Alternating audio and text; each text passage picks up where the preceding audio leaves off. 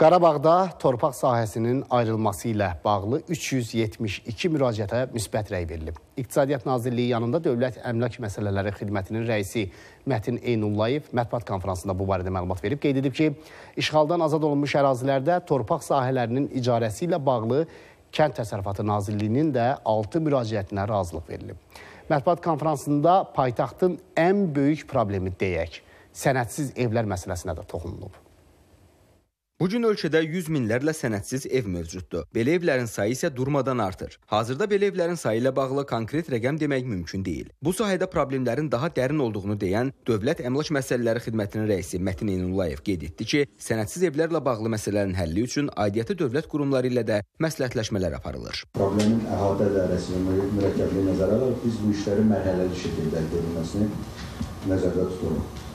Özbaşına tikililərlə bağlı problemi köklü surətdə həll etmək üçün aidiyyəti dövlət qurumlarının əlaqələndirilmiş fəaliyyəti çərçivəsində İqtisadiyyat Nazirliyinin təşəbbüsü qarşısında normativ aktın ə, layihənin hazırlanması üçün işçi qrupu yaradılmışdır. Hazırda ə, bu məsələnin həlli istiqamətində qanun layihəsi üzərində iş aparılır. Bundan sonra istənilən MTK tərəfindən bir mənzilin bir neçə nəfərə satılması hallarına demək olar ki, rast gəlinməyəcək. Çünki yeni yaradılan vahid elektron platforma vasitəsilə binalar və satışa çıxarılan mənzillərlə bağlı bütün məlumatı yoxlamaq mümkün olacaq. Hazırda sistemin necə işləməsi, hansı strukturların ora inteqrasiya edilməsi və digər məsələlər üzərində iş aparılır. Bu barədə isə Daşınmaz əmlakın Dövlət Kadastrı və reyestrinin idarə heyətinin sədri Nicar Alimova məlumat verdi. Bunu belə düşünün.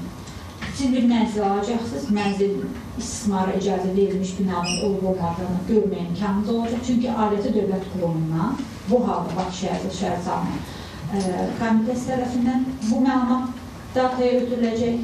Mənzili seçəcəksiniz, üzvlük məsələləriniz həll olunacaq, ödənişləri həmən sistem vasitəsilə edəcəksiniz. Dövlət Əmlak Məsələləri Xidmətinin rəisi Mətin Eynullayev işğaldan azad olunan ərazilərdə bu sahədə görülən işlərdən də danışdı. Qeyd etdi ki, Xankəndi şəhərində biznesin inkişafı ilə bağlı sahibkarlar tərəfindən 107 müraciət daxil olub. Xidmət rəisi müraciətlər əsasında fevral ayında Xankəndi şəhərində açılacaq yeni iş yerlərinin sayını da açıqladı. Fevral ayının sonuna kimi daha iki yanacaq doldurma məntəqəsi, bir mobil operator, bir market, bir yük daşıma və evakuasiya xidməti, bir bərbər salonu və bir aptekin fəaliyyətinin bərpa edilməsi və 40-a yaxın yeni iş yerinin açılması e, təmin edəcək. Mətbuat konfransında o da bildirildi ki, işğaldan azad edilən ərazilərdə azərbaycanlılara dəyən ziyanla əlaqədar sənədlərin toplanması istiqamətində də işlər aparılıb. 1991-ci ilədək mövcud olan daşınmaz əmlak obyektlərinə dair 14 minə yaxın arxiv qovluğu araşdırılıb. Nəticədə 25 minə yaxın sənəd aşkar edilərək Qarabağ rəqəmsal informasiya sisteminə daxil edilib.